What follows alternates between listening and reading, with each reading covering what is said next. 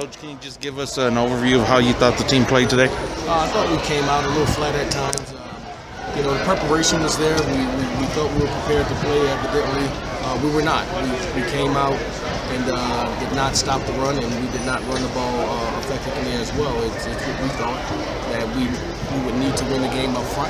That the big men would have to lead this team. Uh, the onus falls directly on this cat right here. So to get this team ready to play uh, get their emotions intact, to be able to go out and take the field to do the things we need to win uh, is my job that I'm charged to do. We'll be better. I'll be better. We'll get that done. We saw Jalen kind of look like he was going to be able to get the ball going early in the run game. Just is what happened? Did they do something to stack up against the run? Uh, you know, we, we just didn't do a very good job of, of identifying the, the twists and things that they uh, presented to us. It was something that we had practiced on, so they didn't do anything surprisingly to us. Uh, but we just didn't uh, we didn't hit it home enough to be technically sound on, on the fits that we needed to finish those blocks. So actually, from quarterbacks today, what did you think of their performances, and why did you choose Dalton toward the end of the stretch?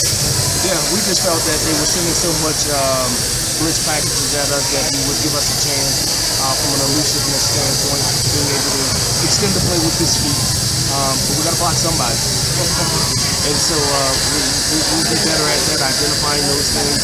Uh, we need to rush the ball better. That'll make them a little less antsy uh, from attacking us. And when we do that, we'll have opportunities to throw the ball downfield. Coach, even with the the lack of being able to run the ball, you guys are still in it pretty late in this game.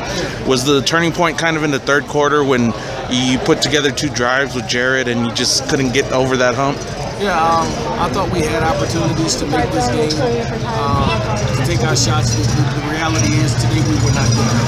Uh, we didn't deserve victory. We lost to a team that finished second to a team that prepared well and uh, was determined to defend their home. And so, uh, hats off to, the, to, our opponent, Colorado State. They did a fine job. Uh, we need to be better. Defense, talk a little bit about performance as well. Yeah, I think uh, you know the second half you saw that's UTSA football. You know they came out, they tackled well, uh, they were assignment sound and did the things necessary uh, that we needed to do to stop the run game. And so I was very pleased with them. Uh, they never quit. That's the good thing about this team. We'll continue to fight uh, until the end. Uh, we, we, came up a little short, but the the desire to want to win and, and the effort to, to fight till the end is never stopped got a short week. Friday is the next game. So, what are y'all going to do for, to prepare? Are you going to do anything different this week?